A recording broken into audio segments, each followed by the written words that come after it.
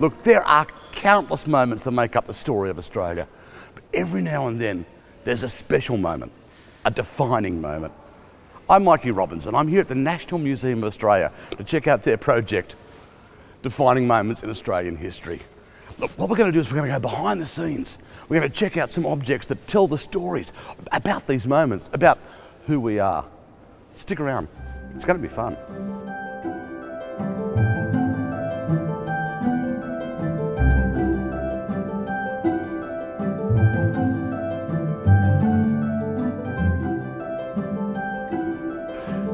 This is the smallest object we'll be discussing, but it is incredibly poignant.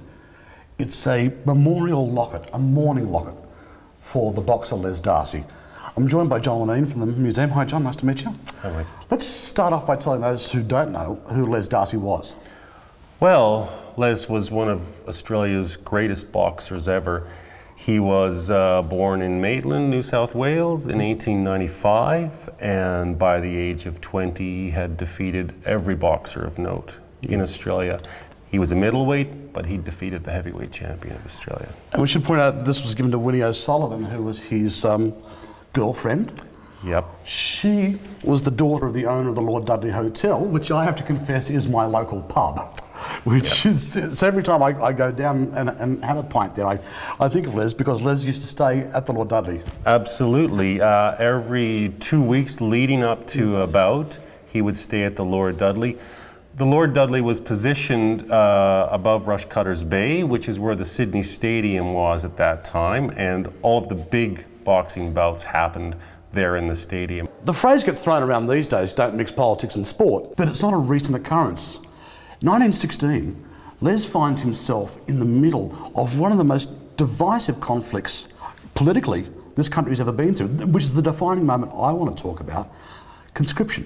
What was Les's role in that argument? 1916, uh, the conscription debate was really based around the fact that uh, Australia was unable to fulfill its commitments to the British government and uh, the imperial force to keep their uh, overseas units up to the particular manpower levels that they needed. This put a lot of pressure on the government, especially the Prime Minister Billy Hughes, and he was he became a big supporter of conscription.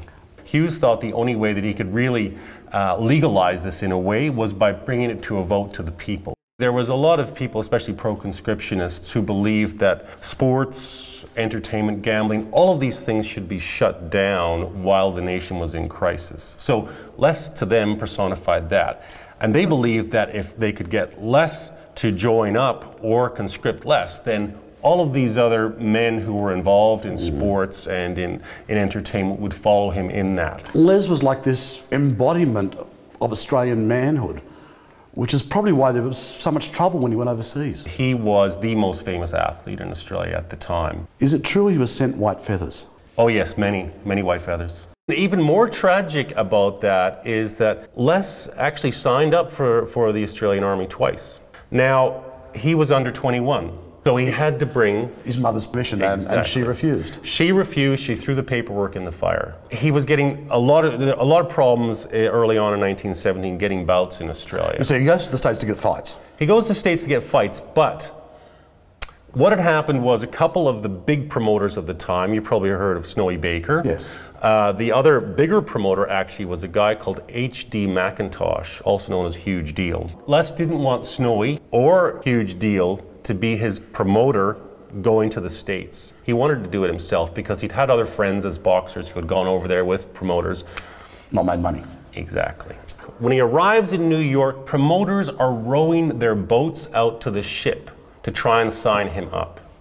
And eventually he gets signed up by one of the big promoters in New York City, lines up a huge fight at Madison Square Gardens, and then it turns out that three days before the bout is to take place, the governor of New York State steps up and says this fight is not going to happen because Les Darcy has run away from his country and his obligations. How did that happen? Well, it seems that Huge Deal McIntosh had connections in the States and actually undermined Les's ability to fight. The fight had been canceled there. He went on to Ohio with another promoter. The governor of Ohio canceled the fights there. He went to Louisiana, the same situation. Eventually, he came to an agreement with a promoter in Memphis, Tennessee. And the agreement was that Les would join the American Army.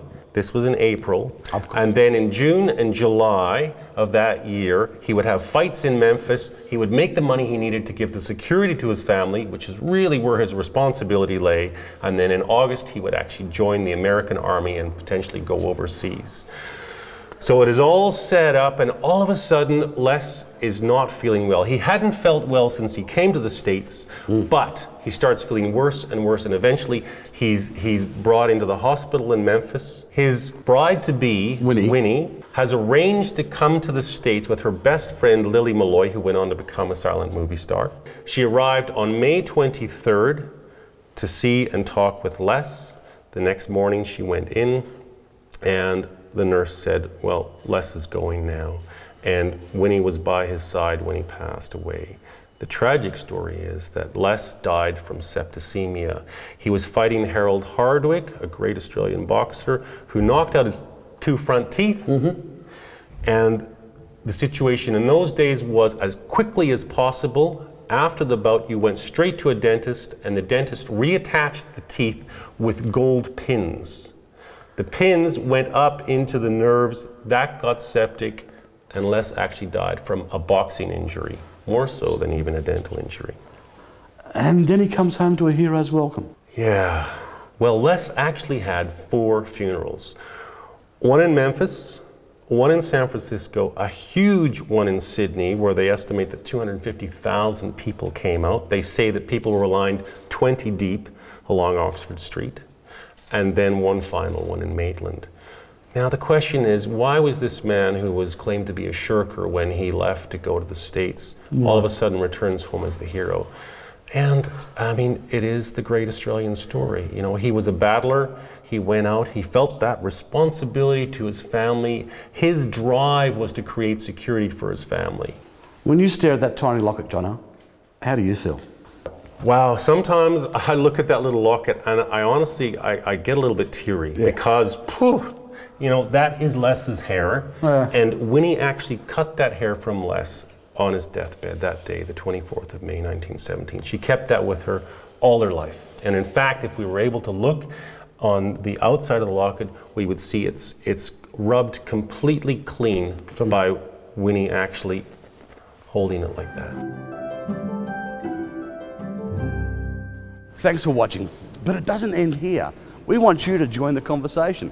Go to the National Museum of Australia's website, that's nma.gov.au, and let us know what you think are the defining moments in Australian history. We'd love to hear your opinion.